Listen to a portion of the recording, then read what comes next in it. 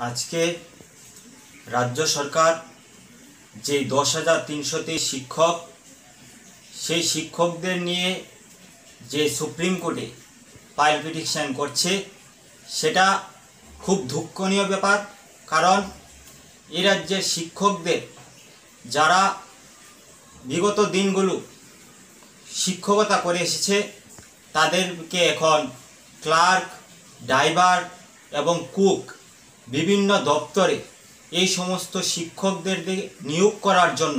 আজকে রাজ্য সরকার যে সুপ্রিম কোর্টে ফাইল পিটিশন করছে, সেটা আমরা ধিক্ষার এবং নিন্দা জানাই। কারণ আজকে প্রত্যন্ত এলাকাতে যখন স্কুলগুলিতে শিক্ষকের অভাবে আজকে ভুগছে, তখন এই সময় এই দশ হাজার তিনশো তেইশ শিক্ষককে শিক্ষা দপ্তর থেকে সরিয়ে ড্রাইভার গার্ড, কুক এই সমস্ত ডিপার্টমেন্টে নিয়োগ করা সেটা শিক্ষকদের জন্য একটা অপমানজনক। যখন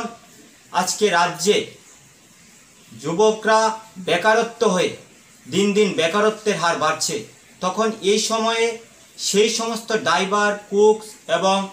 বিভিন্ন গার্ড এই সমস্ত দপ্তরে রাজ্যের বেকারদের নতুন করে যদি সেই সমস্ত শূন্য পদগুলো পূরণ করা হয়, তখন এই রাজ্যের যুবকদের জন্য একটা ইনকামের ব্যবস্থা পরিণত হবে এবং রাজ্যের ইকোনমিক্স আস্তে আস্তে যে এখন পড়ে গেছে, এই লকডাউনের ফলে সেই ইকোনমিক্স আস্তে আস্তে বাড়বে। তার জন্য আমি সরকারের কাছে অনুরোধ করব, আজকে ড্রাইভার কুকস এবং গার্ড এই সমস্ত দপ্তরে রাজ্যের যারা বেকার যুবক, তাদের থেকে যেন এই সমস্ত পদগুলি পূরণ করা হয়